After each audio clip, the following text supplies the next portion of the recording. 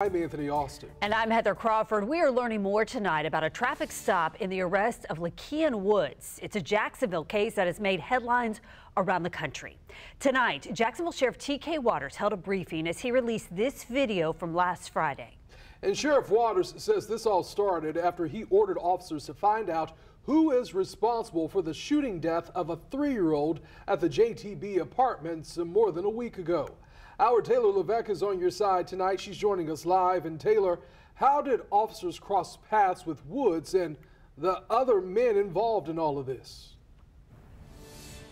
Well, the sheriff said that while officers were patrolling the area of Toledo and Powers Avenue, they came across a group that had crossed paths with someone of interest in that shooting. Officers say they watched uh, uh, Woods and other men before pulling over that car.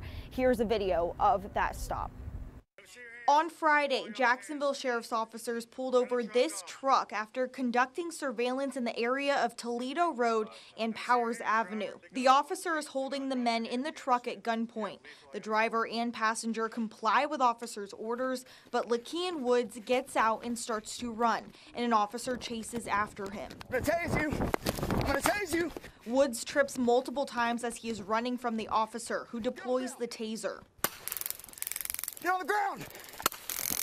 Woods is tased and falls forward. The Jacksonville Sheriff's Office says this impact caused bleeding and swelling to Woods' face.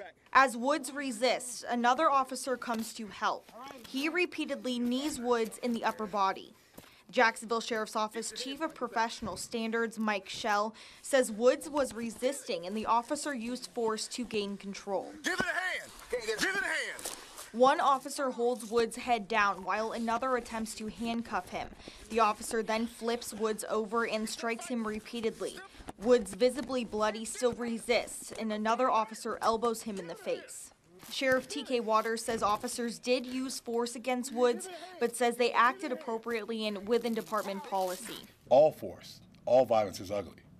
And just because force is ugly does not mean it is unlawful or contrary to policy. But Sheriff Waters says the cell phone video taken of Woods' arrest by someone nearby was intentionally altered to imply one of the responding officers kicked Woods as he was handcuffed. He says this is not what happened. It looked like he was either stretching or he hurt it.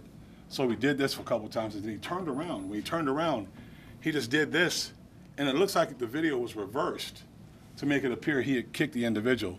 This is the mugshot of 24-year-old Lakean Woods after he was arrested Friday. The Jacksonville Sheriff's Office says he is affiliated with a local undocumented group connected with violent crimes. Woods is on felony probation for a prior armed robbery.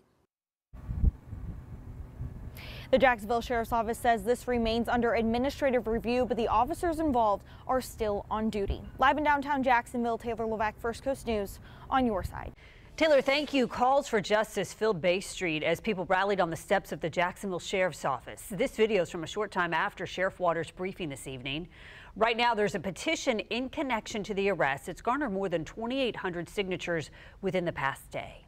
Why didn't they show the whole body worn cam video? And there was more than one. You had various officers out there. Why don't you release everything so that we have a full picture of what happened? Now, Woods is being held on a $170,000 bond, facing several charges, including armed drug trafficking. His next court date is scheduled to happen three weeks from tomorrow.